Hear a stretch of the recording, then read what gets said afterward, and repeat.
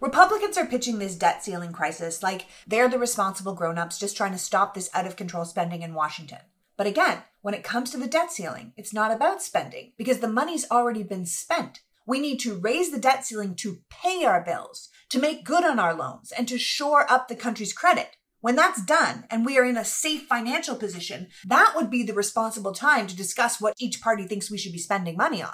I'm sure we'd all agree that endless spending isn't a responsible way to run a country. But we need to be clear that running a country is not like running a home. Having a debt is not by nature a bad thing for a government. All governments do it. The UK's been carrying their debt since the Napoleonic War. So yes, lowering the debt is better, but having debt is completely normal. What we want is to get the deficit down. While the debt is the total amount of money the US government owes and is an accumulation of all past deficits, the deficit is the annual difference between government spending and government revenue. So the difference between how much money the government makes on taxes and other incomes and how much money the government spends on programs from national defense to social security to healthcare. If the government spends more than it takes in, it runs a deficit. If it takes in more than it spends, it runs a surplus. For the record, the last time America ran a surplus, Clinton was in office. But you might not remember that great economic success because the Republicans had us all talking about a blowjob. Look, I think both parties would agree that we want the deficit to shrink so we add less to the debt every year. But we should be very clear that Biden's policies are already doing that. Biden has shrunk the deficit by over a trillion dollars since he took office, when Trump added to the deficit every single year. In fact, 25% of the country's entire debt is from Trump's four years in office. And that same group of Republicans had no problem raising the debt ceiling for him. The problem really comes down to the fact that while both parties agree the deficit should be lower, they don't agree on how to do it. In very simplistic terms, the Republicans want to spend less and the Democrats want to make more. And I understand spending less sounds good. The question is spending less on what?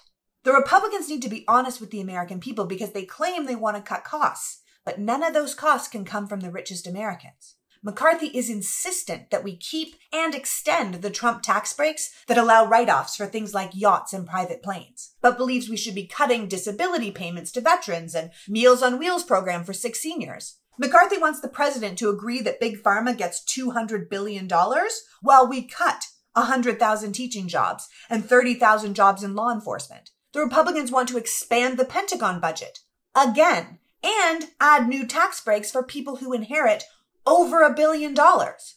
In contrast, the Democrats want to close a bunch of loopholes in the tax code to make the rich pay their fair share. And that was such a non-starter for Republicans that they actively laughed about it on camera.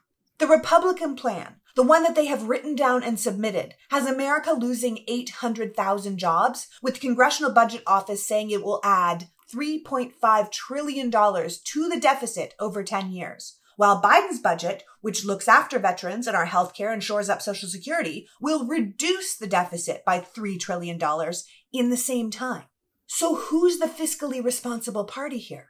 McCarthy and the Republicans are deliberately sabotaging the debt ceiling negotiations to get a bunch of things they know they could never get passed in Congress. They are bypassing Congress using blackmail. They are threatening to crash the American economy to get a bunch of crazy partisan demands. It's basically give us what we want or we'll send the country into economic freefall. And that should really piss people off. This is no way to run a government we really need to seriously consider if it's possible that the Republicans are being calculated in this chaos because they know if they unleash this economic atomic bomb, it might not even hurt them that much because most people don't understand how it works and they'll blame the president if they lose their job or their food or their 401k. It's malicious and it's cynical and it's dangerous, but this comes from the same party who tried to overthrow the government to stay in power two years ago. So the good of the American people is clearly not relevant to them. Trump himself said we should default on our loans because he's not president. So the position of the man who was and who wants to be president is to trash America's economy to make Biden look bad. As Norm Ornstein said, to treat this as a normal political negotiation or one where both sides are equally at fault is to distort reality. The same party who attempted a coup and lied to the American people about the results of an election are now willing to throw the country into an economic catastrophe and let millions of Americans suffer to benefit their own return to power. If anything, this behavior should be an absolutely flashing red light to never give these traitors power again. Republicans have no policies to help the American people, but if they can hurt them while Biden's in office, maybe that'll be enough. Don't be fooled. Don't let your people be fooled. If this country defaults, there's only one party to blame.